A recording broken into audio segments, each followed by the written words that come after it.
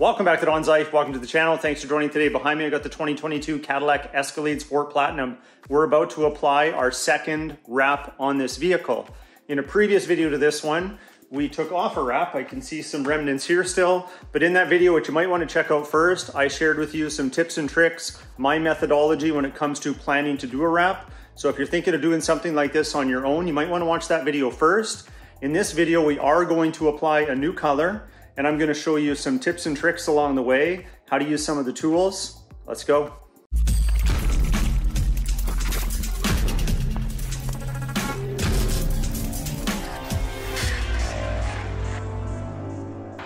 All right, we're gonna share with you some tips. One thing I do when I'm working with doors, to make sure I don't get locked out once the handle's removed, is I will actually take one of my rags that's gotten a little bit dirty that I'm not going to reuse, which I'm gonna talk about in a minute, and I'll just pull it through like that so it's nice and tight. And then when I go to close the door, it can't close, I can't get locked out. Another tip would be to have all the rags at your disposal. Don't shortchange yourself here. I won't use the same rag when I clean a panel onto the next one. I try to use a clean rag for every section that I'm doing because there's gonna be areas where you reveal some filth or some dirt or some sand.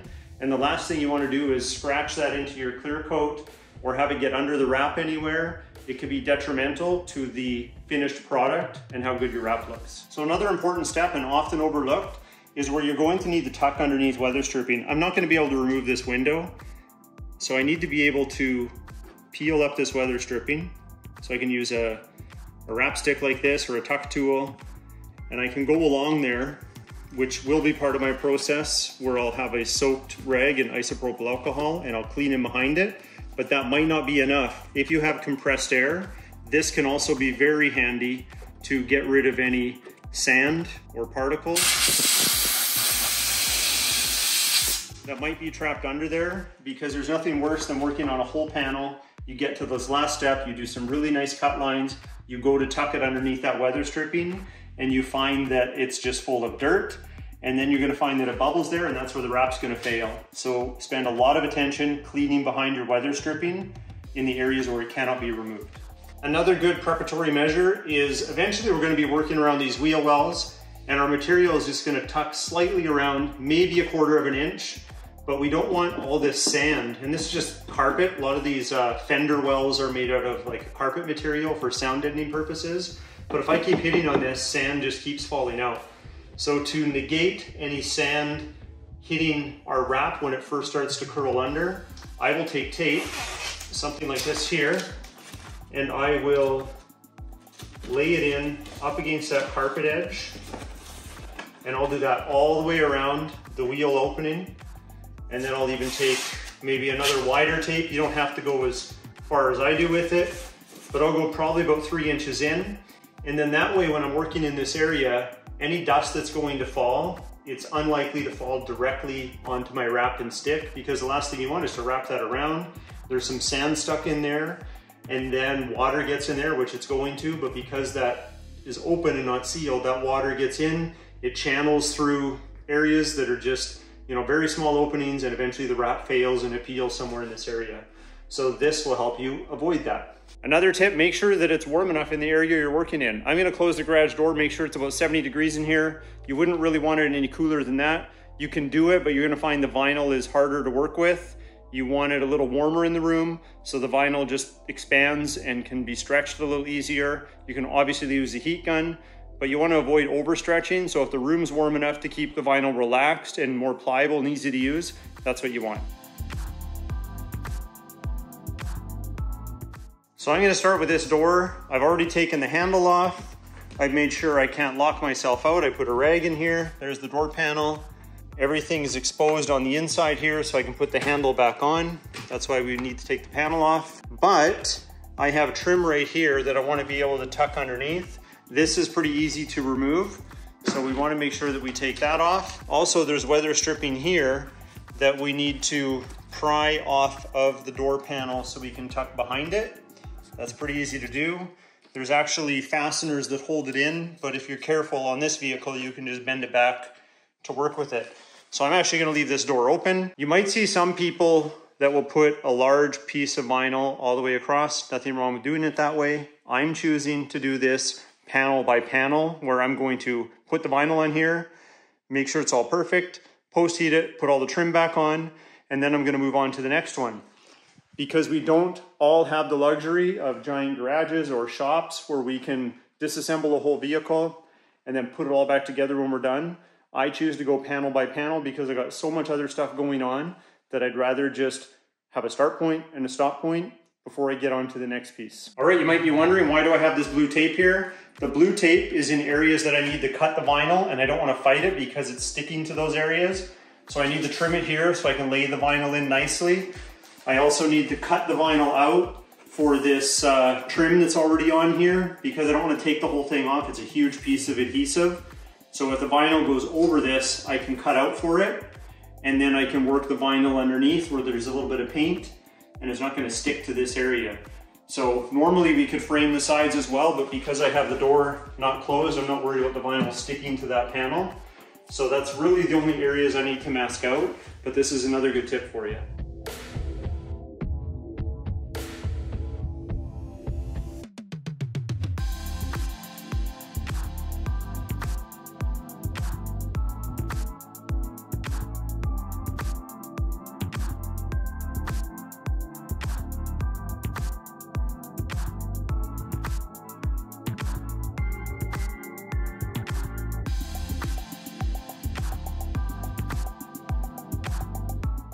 We are making some great progress. We've got all of this done. I've got the same amount done on the other side.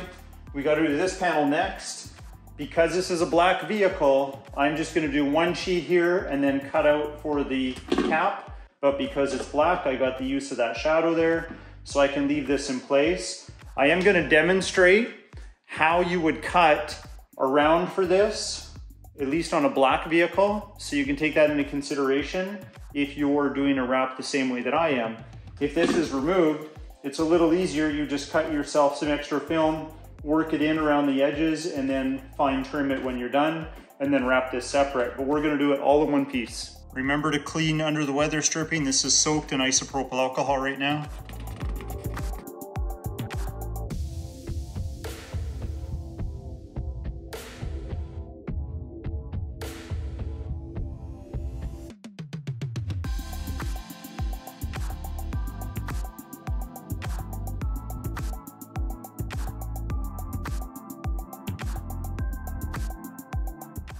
Gonna share a little technique.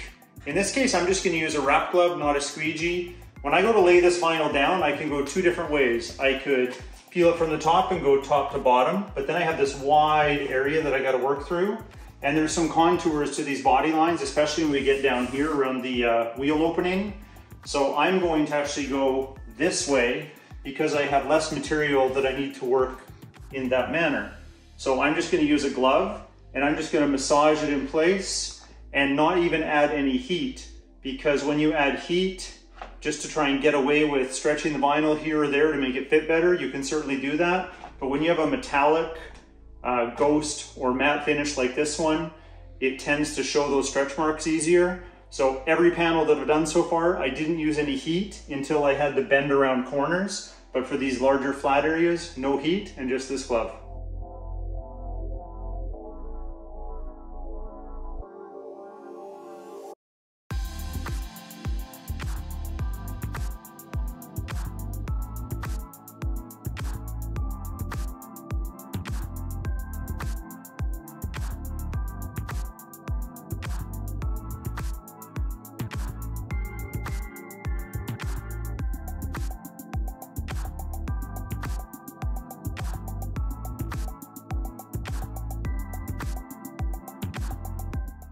So a couple more tips for you. You might be wondering, how are we gonna cut along this weather stripping all nice like that? Remember I did leave a little extra film to tuck under the weather stripping, which I'm about to show you how I achieve that. But over here, my cutting technique would be as follows. So everything is butted up against the weather stripping. Now I can put something like a squeegee here, which has about the thickness of the material I wanna leave intact. And then I could take my nice sharp blade and I can just drag it along the vinyl like this. And if you look closely, we have a perfectly spaced cut that I will be able to tuck underneath the weather stripping. So I have wrap sticks here. I'm going to install the firmer one in behind, and you got to go slow. This is going to flex the weather stripping up, and then I'm going to put another one behind it at an angle, and then as I move slowly, it's tucking as I'm dragging, and you can see how slow I'm going. And a lot of that has to do with this weather stripping is really tight. But if you look behind me, I've got a perfectly tucked line.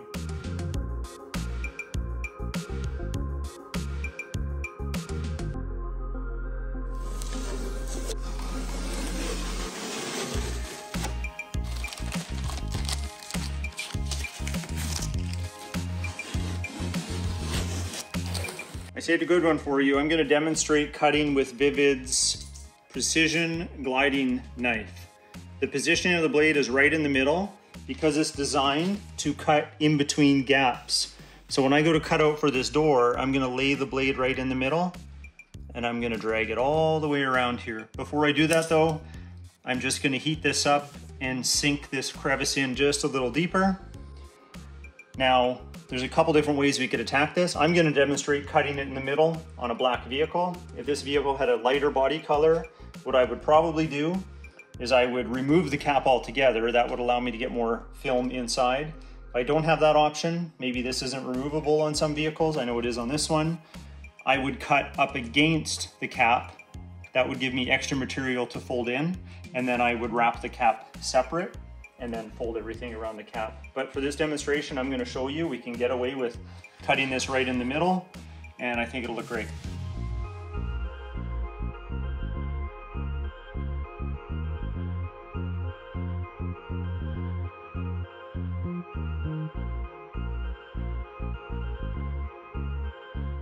I wanted to demonstrate overstretching your material. Now this is a matte metallic so overstretching is definitely a concern because if you overstretch your material, it can change what the material looks like and its properties. So ideally, if I was wrapping this bumper, I would want to, you know, try not to add too much heat, try not to add too much stretch as I'm working the vinyl, you know, into places. So that's okay the way I was stretching it. So let's say I want to get around this corner make it a little easier on myself. Sure, I can add heat, and that'll make the vinyl more pliable, which is fine. I'm not, I'm not pulling, so I'm not really stretching. If I lay it like that, it's fine. We get rid of that glue line there, that's fine. What we don't want to do is just heat it up to make it return to its original form. Now what you don't want to do, you don't want to stretch it out like that and apply it. It's easier to put it on, but now look at the line that I have here. This has a different sheen than this. I can see the reflection of my finger in this corner, but I can't as I move over here. That's because I've stretched this material to the point where its properties are different. This is visibly noticeable, especially when you stand back and see the whole vehicle. You want to avoid overstretching like that.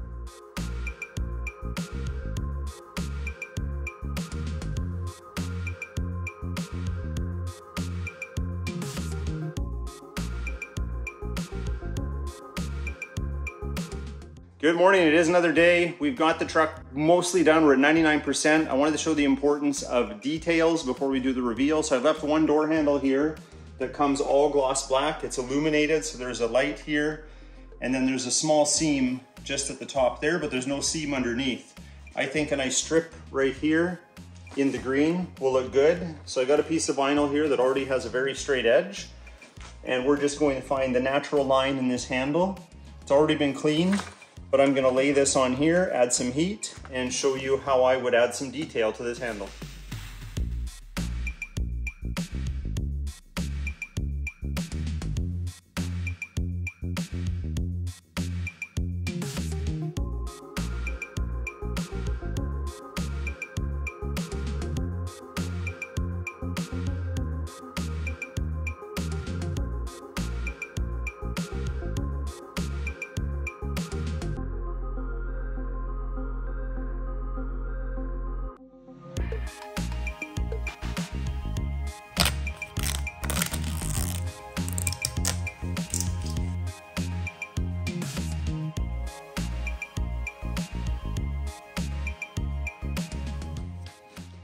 And that's called details. All right, it's time for the big reveal. All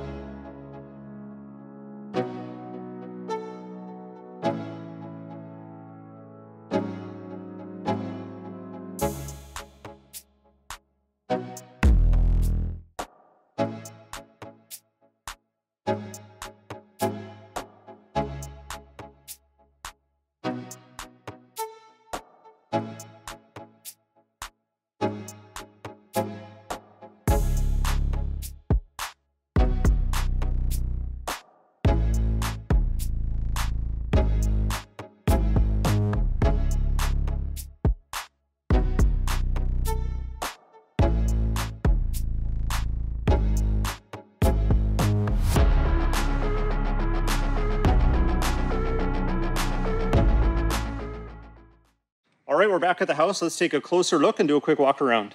So I think it turned out beautifully. We got our PPF line here. No big deal. We're going to live with it. Everything is tucked in nicely. Remember, because this is PPF, sometimes where it bonds to the PPF is as good a result you're going to get because the edge of the PPF may not be perfect. When we look at our seams, we got that black shadow I'm talking about. In this case, it wraps just enough around that you don't see any puckering and it is a nice smooth line all the way down. The little bit of gap here that you see is actually the adhesive holding on these guards. Other than that, everything's tucked in nicely. I'm really proud of the handles. I think they worked out wonderfully, as well as under the weather stripping here. Again, our seams look awesome. Getting back here, this is one of the harder spots. I showed you a little bit of footage tucking this under the weather stripping on the window. That's done. We used our precision cutting blade to cut out for the gas cap. You can see how it's all just laid in here and it's clean because it's a black vehicle. It's just a shadow, looks like a nice clean ring. Bumper worked out okay. We will find out probably in the next 48 hours if there's any areas that need to be post-heated again, if there's any failures. I have quite a bit of film left. I could probably redo a couple panels. I didn't have a ton of waste just because I'm used to doing this and I know, you know, I can cut it an inch here and know that I have enough to work with and I don't need six inches. But if you're starting out, have that six inches. Here it recessed in nicely. This could be a point of failure. Our insides, nice clean cuts all the way down. Remember we took the mud flaps off so the vinyl's tucked in under there. Really happy with these edges. If you want to come and look up here, nice and clean. I don't think those will fail. And it's a pretty smooth looking wrap from here on out. Take it all in. Thanks to VViViD for sending over this matte metallic military green ghost wrap. My wife absolutely loves it. Happy wife, happy life. But if you like today's video, hit that like button. Please consider subscribing for more. We'll talk to you next time.